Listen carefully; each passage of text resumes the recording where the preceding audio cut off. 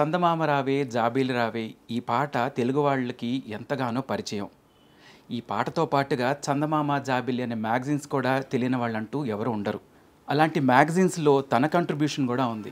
అలాగే ఎన్నో కార్టూన్స్ ద్వారా ఎన్నో చిత్రాల ద్వారా పిల్లలకి ఇన్స్పిరేషన్ స్టోరీస్ కానీ అలాగే మన సాహిత్యం గురించి కానీ ఇతిహాసాల గురించి కానీ వివరించారు. ఆయనే డాక్టర్ కళాశ్రీ పీజీ గురుస్వామి గారు. ఆయన మనతో ఉన్నారు. ఆయన అడిగి మరిన్ని విషయాలు తెలుసుకుందాం. నమస్తే సార్. నమస్కారం. అసలు మొదటగా మనం మాట్లాడుకుంటే మీకు ఈ కార్టూన్స్ కానీ లేకపోతే ఈ పిల్లలకి సంబంధించిన స్టోరీస్ చెప్పి ఇన్స్పిరేషన్ స్టోరీస్ కానీ లేకపోతే మోటివేషనల్ స్టోరీస్ చెప్పాలనే ఆలోచన మీకు ఎలా వచ్చిందండి? ఆ రోజుల్లో మా చిన్న వయసులో చందమామ అన్నది ప్రముఖ పత్రిక. అవును. ఆ పత్రికలో వచ్చే స్టోరీస్ అన్నీ ప్రతి స్టోరీలో ఒక మెసేజ్ ఉండేది. పరోపకారి పాపన్న. అంటే ఊరికి ఉపకారం చేసే అతను. ఎలాంటి వ్యక్తి అనేది ఆ రోజుల్లో చిత్ర అనే చిత్రకారుడు. అందంగా దానికి ఒక రూపం ఇచ్చాడు. ఆ రూపంలో నేను పరకాయ ప్రవేశం చేయాల్సి వచ్చేది.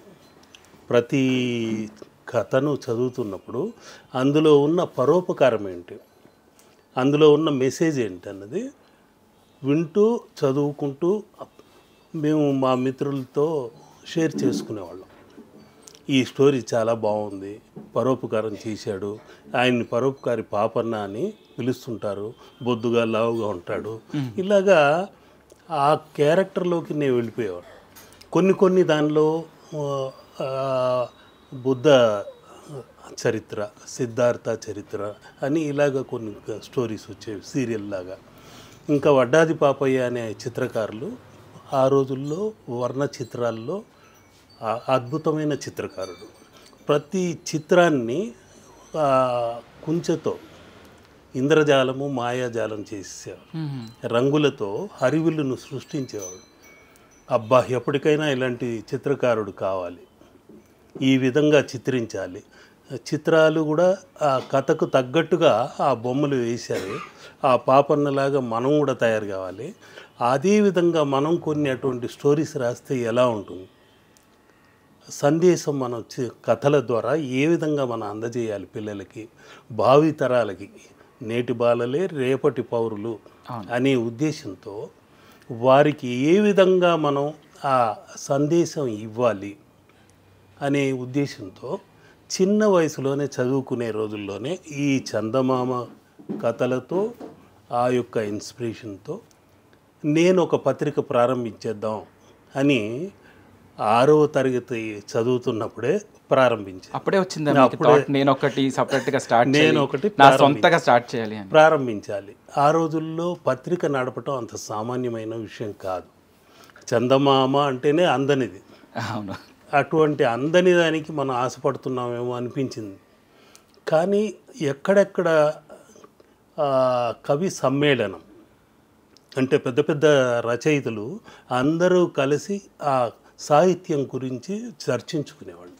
ఆ చర్చలో నేనేదో పెద్ద కవిని అన్నట్టుగా వెళ్ళిపోయి దానిలో పాల్గొనేవాడు ఇవన్నీ కాకుండా యోగ విద్య నేర్పించే ఆ ఇన్స్టిట్యూట్కి వెళ్ళిపోయి అక్కడ కూర్చునేవాడు. నా వయసు ఏమో ఆరో తరగతి చదువుతున్న వయసు. కానీ ఆలోచనలు పరిధికి మించి ఉన్నాయి. అటువంటి పరిచయాలు పెద్దవాళ్ళతోనే ముసలాళ్ళతోనే ఎక్కువ పరిచయం. ముఖ్యంగా ఆ పండితులతోనే పరిచయం కాబట్టి వాళ్ళు చెప్పే ప్రతి అక్షరము ఒక బీజాక్షరమై దేహం అంతా లిఖించబడింది అనొచ్చు ముద్రించబడింది అని చెప్పవచ్చు ఒక పత్రిక తీసుకొచ్చి మనం కూడా ఆ విధంగా పేరు ప్రఖ్యాతులు తెచ్చుకోవాలి. ఎటువంటి పత్రిక తీసుకురావాలి? చిత్రాల్లో హరివిల్లులో ఉన్న వర్ణాలన్నీ సప్త వర్ణాలన్నింటినీ రంగరించి మనం చిత్రిస్తుంటాం.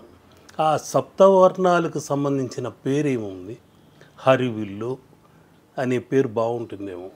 నేను చిత్రకారుడు కాబట్టి ఆ చిత్రాలకు తగ్గట్టు హరివిల్లు అని ఒక ఇంద్రధనుసుని చిత్రించి సప్తవర్ణాల్లో హరివిల్లు అని తెల్లటి తేజస్సుతో ఆ టైటిల్ తీసుకొచ్చి ఆ ముఖ చిత్రాన్ని నేనే చిత్రించి వడ్డాది పాపయ్యలాగా చిత్రించటము అందులో ప్రతి స్టోరీ ఒక సందేశంతో ఒక స్టోరీ రాయటము ఆ కథకు తగ్గట్టు చిత్రాల్లో చిత్రించటము. ఇవి కాకుండా ఒక సీరియల్ కూడా దాన్ని రాస్తూ వచ్చాను.